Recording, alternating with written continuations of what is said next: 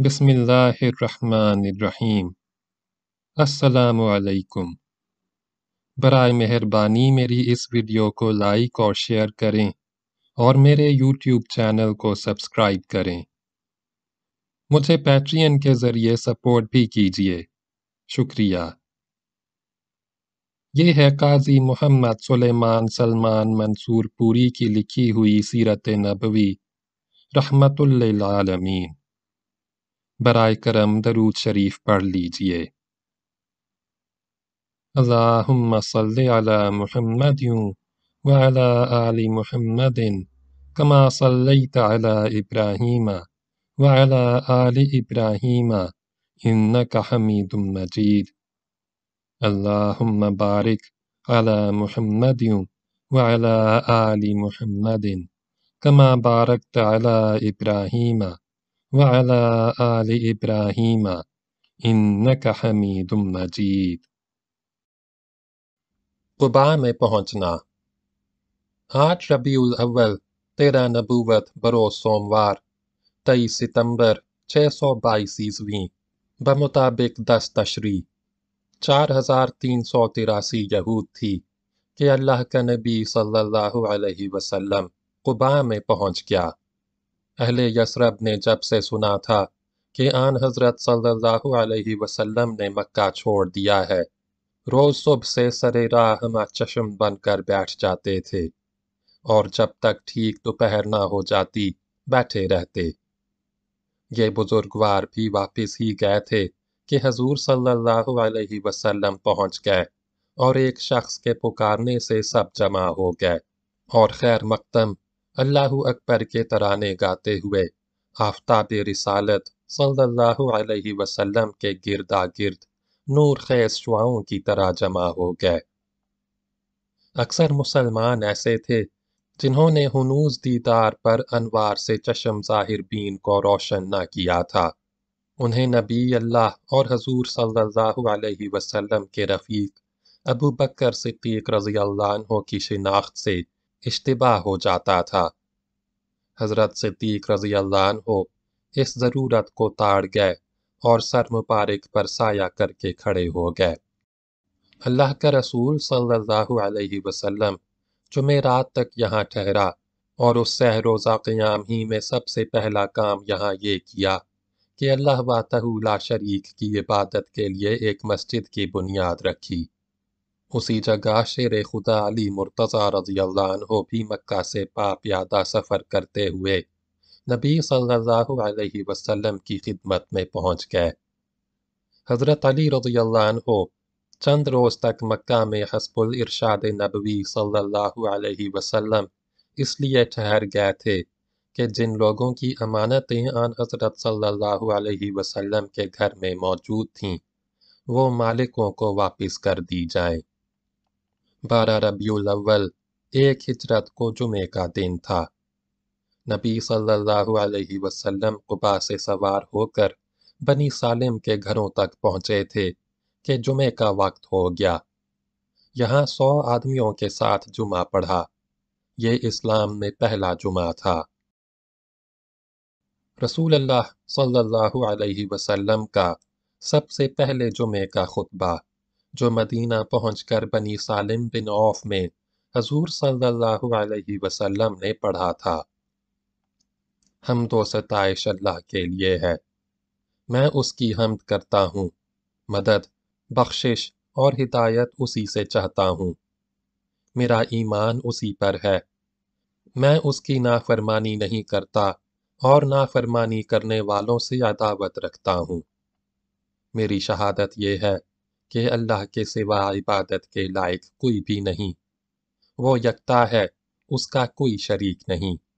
मोहम्मद सल्लल्लाहु अलैहि वसल्लम उसका बंदा और रसूल है। उसी ने मोहम्मद सल्लल्लाहु अलैहि वसल्लम को हिदायत, नूर और नसीहत के साथ ऐसे ज़माने में भेजा है, जबकि मुद्दतों से कोई रसूल दुनिया में ना आया था। इल्म घट गया और गुमराही बढ़ गई थी। उसे आखिरी ज़माने में क़यामत के करीब और मौत की नज़दीकी के वक्त भेजा गया है।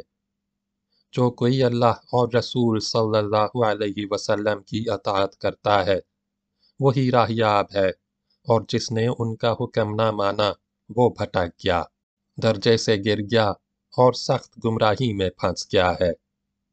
मुसलमानों, मैं तुम्हें अल्लाह से तकवा की वसीयत करता हूँ। बेहतरीन वसीयत जो मुसलमान मुसलमान को कर सकता है। ये है कि उसे आखरत के लिए आमादा करे और अल्लाह से तकवा के लिए कहे। लोगो, जिन बातों से अल्लाह ने तुम्हें परहेज करने को कहा है, उनसे बचते रहो। उससे बढ़कर ना कोई नसीहत है और ना उससे बढ़कर कोई ज़िक्र है। याद रखो कि उमूर आखरत के बारे में उस शख्स के लिए जो अल्लाह से डर कर काम कर रहा है। तकवा बेहतरीन मदद साबित होगा। और जब कोई शख्स अपने और अल्लाह के दरमियान का मामला खुफिया और ज़ाहिर में दुरुस्त कर लेगा और ऐसा करने में उसकी नीयत खालिस होगी तो ऐसा करना उसके लिए दुनिया में ज़िक्र और मौत के बाद, जबकि इंसान को अमाल की ज़रूरत व कदर मालूम होगी, ज़ख़ीरा बन जाएगा। लेकिन अगर कोई ऐसा नहीं करता तो उसका ज़िक्र इस आयत में है। इंसान पसंद करेगा कि उसके अमाल उससे दूर ही रखे जाएँ। अल्लाह तुमको अपनी ज़ात से डराता है और अल्लाह तो अपने बंदों पर नहायत मेहरबान है। और जिस शख्स ने अल्लाह के हुक्म को सच जाना और उसके वादों को पूरा किया तो उसकी बाबत ये इरशाद इलाही मौजूद है। हमारे यहाँ बात नहीं बदलती और हम अपने नाचीज़ बंदों पर जुल्म नहीं करते। मुसलमानों, अपने मौजूदा और आइंदा, ज़ाहिर और खुफिया कामों में अल्लाह से तकवा को पेश नज़र रखो, क्योंकि तकवा वालों की बदियाँ छोड़ दी जाती हैं और अजर बढ़ा दिया जाता है। तकवा वाले वो हैं जो बहुत बड़ी मुराद को पहुँच जाएँगे। ये तकवा ही है जो अल्लाह की बेजारी, अजाब और गुस्से को दूर कर देता है। ये तकवा है जो चेहरे को दरख्शां परवरदिगार को खुश और दर्जे को बुलंद करता है मुसलमानों हज उठाओ मगर हकूक इलाही में फ़र्द गुजाश ना करो अल्लाह ने इसीलिए तुमको अपनी किताब सिखलाई और अपना रास्ता दिखलाया है कि रास्तबाजों और काजिबों को अलग अलग कर दिया जाए लोगो अल्लाह ने तुम्हारे साथ उम्दा बर्ताव किया है तुम भी लोगों के साथ ऐसा ही करो, और जो अल्लाह के दुश्मन हैं, उन्हें दुश्मन समझो, और अल्लाह के रस्ते में पूरी हिम्मत और तवज्जो से कोशिश करो। उसने तुमको बुरगजीदा बनाया, और तुम्हारा नाम मुसलमान रखा है, ताकि हलाक होने वाला भी रोशन दलाइल पर हलाक हो, और ज़िंदगी पाने वाला भी रोशन दलाइल पर ज़िंदगी पाए, और सब नेकियाँ अल्लाह की मदद से हैं। लोगो, अल्लाह का ज़िक्र करो और आइंदा ज़िंदगी के लिए अमल करो। क्योंकि जो शख्स अपने और अल्लाह के दरमियान मामला दुरुस्त कर लेता है, अल्लाह ताला उसके और लोगों के दरमियान के मामले को दुरुस्त कर देता है। हाँ अल्लाह बंदों पर हुक्म चलाता है और उस पर किसी का हुक्म नहीं चलता। अल्लाह बंदों का मालिक है और बंदों को उस पर कोई इख्तियार नहीं। अल्लाह सबसे बड़ा है और हमको नेकी करने की ताकत उसी अजमत वाले से मिलती है। मदीना मुनवरा में दाखला।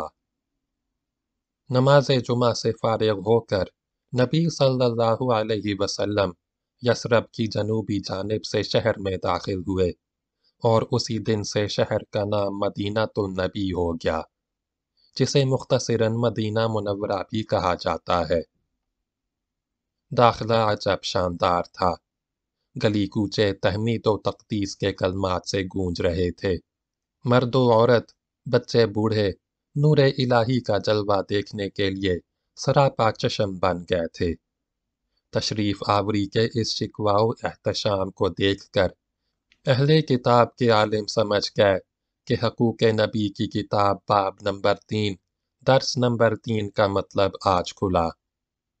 अल्लाह जनूब से और वो जो कद्दूस है, कोहे फारान से आया है। उसकी शौकत से आसमान छुप गया और ज़मीन उसकी हमद से मामूर हुई।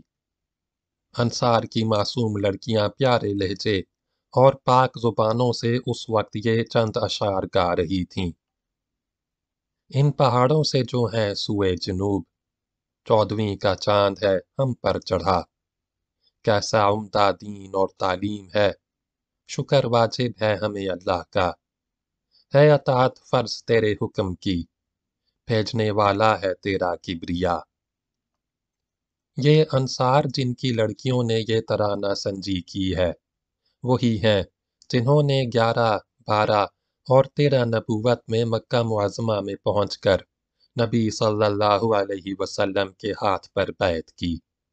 या वो हैं जो मुसब बिन उमैर रज़ी हो या इबन मकतूम रज़ी हो की हिदायत से और तालीम से मदीना मुनवरा ही में मुसलमान हो गए थे बुज़ुर्ग अंसार कुछ बड़े मालदार या साहिब सरवत या किसी बड़ी जागीरों अमलाक के मालिक न थे मगर दिल के ऐसे गनी इस्लाम के ऐसे फिदाई मुसलमान भाइयों पर इतने कुर्बान थे कि जब कोई मुहाजिर नंगी तलवारों खिंची हुई कमानों से जान बचाकर भूखा प्यासा मदीना में जा पहुँचता था।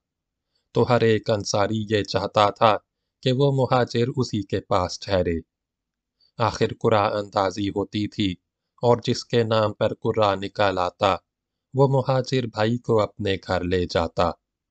मकान, असबाब, रुपया, ज़मीन, मवेशी, गर्ज जो कुछ उसकी मुल्क में होता उसका आधा हिस्सा उसी दिन तकसीम करके दे देता और फिर रात दिन उसकी खिदमत के लिए मुस्तैद रहता।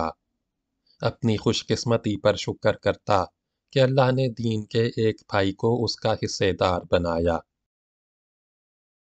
मक्का और मदीना के हालात का मुकाबला। मक्का में सिर्फ़ एक कौम कुरैश का ज़ोर और हुकूमत थी और सबका मज़हब भी ज़्यादातर बुत परस्ती था। मदीना मुख्तलिफ़ अकवाम और मजाहब का मजमू था। वहाँ बुत परस्त भी थे और यहूदी भी और कम तादाद में ईसाई भी। यहूदियों के कई ज़बरदस्त कबीले बनु नज़ीर, बनु कैनका, बनु कुरैजा थे, जो अपने जुदागाना किलों में रहा करते थे। तिजारत और सूदखोरी की वजह से बहुत मालदार थे। जब अल्लाह के बुरगुजीदा नबी मूसा सलाम ने अपने वाज में यहूद को ये बशारत सुनाई थी कि यहूद मदीना नबी मऊद सल्लल्लाहु अलैहि वसल्लम के मुंतज़िर थे। अल्लाह जल मूसा सलाम के भाइयों में से मूसा सलाम जैसा नबी पैदा करेगा। उस वक्त से यहूद उम्मीद किए हुए और इसी उम्मीद पर मदीना में ठहरे हुए थे कि बनी इसराइल में पैदा होने वाला नबी यहूद के अदबार कौमी को दूर करने वाला, उनकी गुजश्ता शान व शौकत, हकूमत व सल्तनत को दोबारा ज़िंदा करने वाला होगा। और जब से यहूद को शाम से निकाल दिया गया और ज़िल्लत व ग़ुलामी के गढ़े में डाल दिया गया था, उस वक्त से नबी मऊद के जहूर पर उनकी आँखें और भी ज़्यादा लगी हुई थीं। अब इस्माइली नबी सल्लल्लाहु अलैहि वसल्लम का मदीना में तशरीफ़ लाना सुनकर यहूद बिलखसूस बहुत खुश हो रहे थे। लेकिन जब उन्होंने देखा, ये तो मसीह सलाम को रास्त पास ठहराता, उसकी तालीम को सच्चा बतलाता और मसीह सलाम पर ईमान लाने को इस्लाम का ज़रूरी फ़क जुज करार देता और उसकी बुजुर्गी करके यहूदियों को इंसाफ से मुलजिम ठहराता है तो उस वक्त सब यहूदी हमारे नबी सल्लल्लाहु अलैहि वसल्लम के दुश्मन हो गए। ईसा यानी मदीना नबी मऊद सल्लल्लाहु अलैहि वसल्लम के मुंतज़िर थे। जब से अल्लाह के बुरगजीदा बंदा ईसा मसीह सलाम ने सबसे आखिरी बाज में दूसरे तसल्ली देने वाले के आने की खबर दी थी, जो दुनिया के साथ हमेशा रहे और जो दुनिया को सब चीज़ें सिखलाएगा और ईसाइयों को उसके हुक्म पर चलने की ताकीद की थी। ईसाई भी उस नबी सल्लल्लाहु अलैहि वसल्लम का इंतज़ार कर रहे थे। जो यहूद से उनके जुल्मों का बदला लेने वाला, ईसाइयों को जलाल बख्शने वाला, मसीह अलैहिस्सलाम की सदाकत ज़ाहिर करने वाला हो। लेकिन जब उन्होंने देखा कि नबी सल्लल्लाहु अलैहि वसल्लम ने ईसाइयों के खुद साख्ता मसाइल अहनियत तसलीस, कुफारा रहबानियत और पोप के इलाही इक़्तदारात का रद्द किया। तब वो भी हमारे नबी सल्लल्लाहु अलैहि वसल्लम के दुश्मन हो गए। मदीने की हालत का अंदाज़ा करने के लिए नाजरीन को अब्दुल्ला बिन अबी बिन सलूल के हाल पर भी एक मुख्तसर नज़र डाल लेना ज़रूरी है। यहूदियों के अलावा मदीना का मुमताज़ सी असर शख्स ये भी था। औसो खजरज के कबीलों पर उसका पूरा रोब था और उसकी तवक्को थी कि इन ताकतवर कबीलों की मदद से मदीने की सबसे आला ताकत में ही बन जाऊँगा। जब उसने देखा कि औसो खजरज मुसलमान हो रहे हैं तो खुद भी बाद अज जंग बदर बज़ाहिर हाल मुसलमानों से मिल गया। लेकिन जब उसने देखा कि यहूद नबी सल्लल्लाहु अलैहि वसल्लम के खिलाफ हो गए हैं तो उसने चाहा कि यहूदियों पर भी उसका पहला असर कायम रहे। और मुसलमान हो जाने वाले कबाइल भी बदस्तूर जेर इकतदार रहें। इसलिए उसने ये रवैया इख्तियार किया कि मुसलमानों में बैठकर उनसे अपनी रफाकत का इकरार करता और दीगर अकवाम के सामने उनके साथ अपने इतिहाद सदाकत का दावा किया करता। और चूँकि वो फिल हकीकत इस्लाम को अपनी आरजुओं का पामाल कनंदा समझता था, इसलिए जब मौका मिलता तो मुसलमानों की ज़रा रसानी में भी दरेग ना करता। इस गिरोह का नाम मुसलमानों ने मुनाफिक रखा। मदीने की यह हालत थी और इससे ज़ाहिर है कि इस्लाम की दावत और मनादी के लिए उस जगह भी बहुत सी दुश्वारियों का सामना था। एक मुनसिफ और गौर करने वाली तबीयत फैसला कर सकती है कि उन सब मवाने पर गालिब आना इस्लाम की सदाकत की उम्दा दलील है। अशात इस्लाम में जो कामयाबी नबी सल्लल्लाहु अलैहि वसल्लम को मदीना मुनवरा में बमुकाबला मक्का मुअज़्ज़मा हुई, उसका ज़िक्र कुरान ने पहले से बतौर पेश कोई फरमा दिया था। वलिल आखिरतु खैरुल्लका मिनल ऊला। यानी पिछला तेरे लिए पहले से बेहतर होगा। सूरा अज़ुहा आयत नंबर छ। बकिया अगली वीडियो में सुने।